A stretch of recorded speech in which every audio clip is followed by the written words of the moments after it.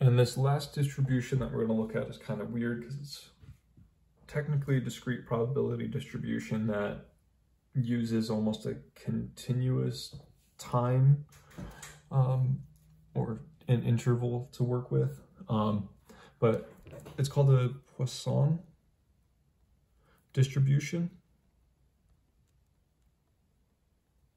And it's a discrete probability distribution of a random variable x that satisfies the following conditions. So the first one is the experiment consists of counting the number of times x um, an event occurs in a given interval.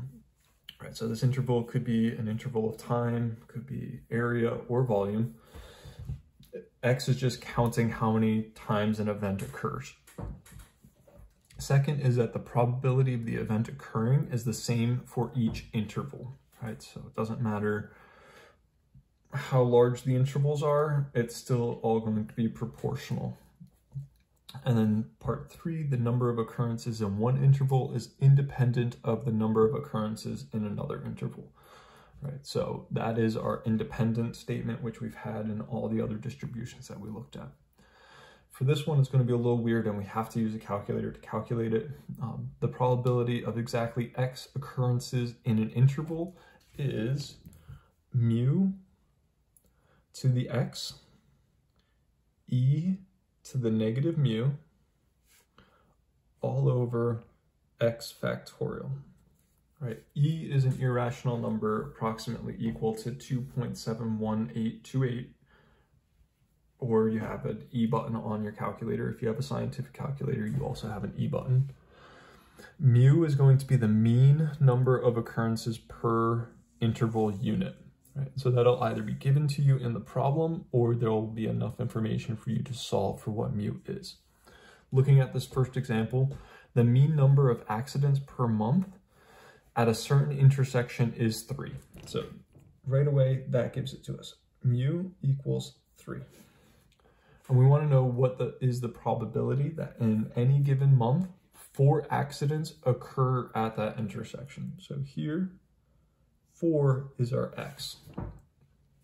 So we are looking for p of 4, which by this definition up here, it's going to be mu, so 3 to the fourth, times e to the negative third, all over 4 factorial.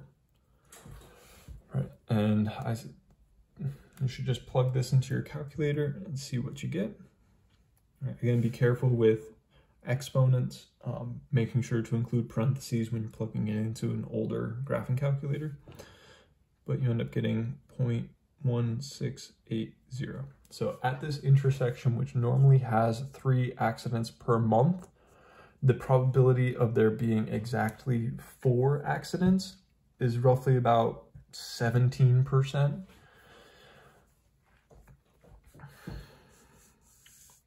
Then let's look at this last example. So an insurance agents claim that in Denver, Colorado, a homeowner can expect to replace their roof once every 10 years due to hail damage. So replace roof once, one replace every 10 years. I'm going to write it like this because the next part of the problem says, what is the probability that in 12 years, a homeowner in Denver will need to replace the roof twice because of hail? So we know that in 10 year span, they need to replace it once. Let's figure out how many times they'll have to replace it in 12 years. So on average, mu is going to be the number of times it needs to be replaced. in 12 year span. All right, so we have two fractions, they're equal, which means that we can cross multiply, and that's gonna give us that mu is equal to 1.2. All right, so in a 12 year span, 1.2, you have to replace your roof 1.2 times, which sounds kind of weird, but just the way the numbers break out. And so we want to figure out what's the probability that you have to replace it twice in that 12 year span. Right, so again, our mu was 1.2. our x was 2.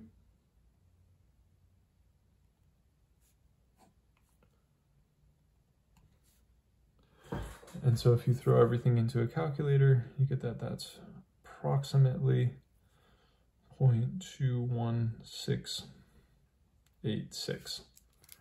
All right, so there's a 22% chance that you will have to replace your roof twice in a 12 year span um, due to hail damage.